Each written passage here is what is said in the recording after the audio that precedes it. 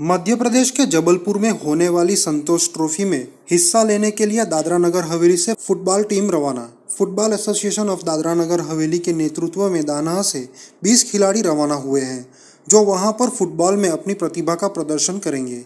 दानाह team का match Madhya Pradesh जैसी कई अच्छी टीमों के साथ होगा। संतोष ट्रॉफी फुटबॉल के लिए बड़ा कप माना जाता है और दानाह की टीम दूसरी बार इस तरह के टूर्नामेंट में हिस्सा ले रही है। गुरुवार को football association of Dadra Nagar Haveli के अध्यक्ष उपेंद्र पटेल तथा सेक्रेटरी नेविल कुटिल ने खिलाड़ियों को शुभकामना देकर रवाना किया।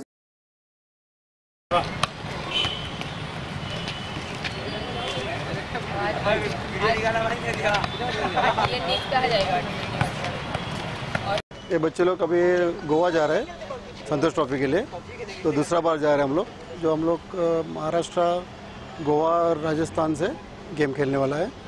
तो इसमें से पूरा गाँव का लड़का है। गाँव सब सिलवासा, दुधनी, मांदुनी, सुंदरी कांचा दपड़ा सब लड़का हम लोग सिलेक्शन किया। उसमें से हम लोग लड़का, बीस लड़का जा रहा है। बीस लड़का जा रहा है इसके लिए। तो हमने प्रैक्टिस, एक महीना जो प्रशासन ने हम लोग को ग्राउंड दिया प्रैक्टिस के लिए, वो उसे देखने के बाद तो लगता है कि हम लोग टफ देंगे तीनों टीमों को। अच्छा लग रहा है। संतोष ट्रॉफी, इंडिया का एक बहुत प्रीमियम टूर्नामेंट में से एक आता है। तो उसमें हम लोग पार्टिसिपेट कर रहे हैं। हम हम लोग अपना अच्छा बेस्ट परफॉर्मेंस देगा।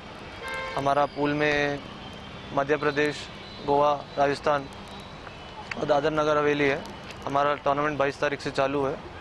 तो एसोसिएशन ने पूरा मतलब जो इंफ्रास्ट्रक्चर है वो पूरा प्रॉपर है और अच्छा फैसिलिटी और ट्रेनिंग हमें मिला है। तो हम होप करते हैं कि अच्छा हम रिज़ल्ट लेकर आएँगे।